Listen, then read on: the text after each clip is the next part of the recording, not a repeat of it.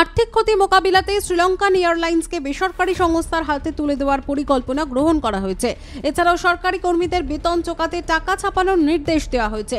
সম্প্রতি টেলিভিশনে জাতির উদ্দেশ্যে ভাষণ দিতে গিয়ে কথাই বলেছেন শ্রীলঙ্কার নতুন প্রধানমন্ত্রী রনিল বিক্রমসিংহে। প্রধানমন্ত্রী রনিল বিক্রমাসিংহে আরও বলেছেন দু হাজার কুড়ি একুশ আর্থিক বর্ষে শ্রীলঙ্কান এয়ারলাইন্সের ক্ষতি হয়েছে একশো চব্বিশ মিলিয়ন ডলার।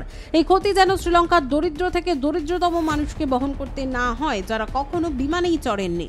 রনিল বিক্রমসিংহে বলেছেন, সরকার এখন খোলা বাজারে ডলার পাওয়ার চেষ্টা করছে। শ্রীলঙ্কার উপকূলে নোঙর করে থাকা তিনটি জাহাজ ভর্তি অপরিশোধিত তেল এবং ফার্নেস তেলের দাম মেটানোর জন্য।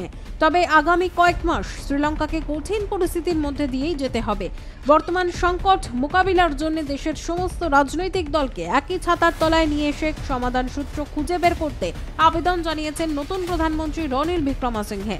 দায়িত্ব গ্রহণের পর নতুন প্রধানমন্ত্রী এখনও কোনো অর্থমন্ত্রী নিয়োগ করেননি।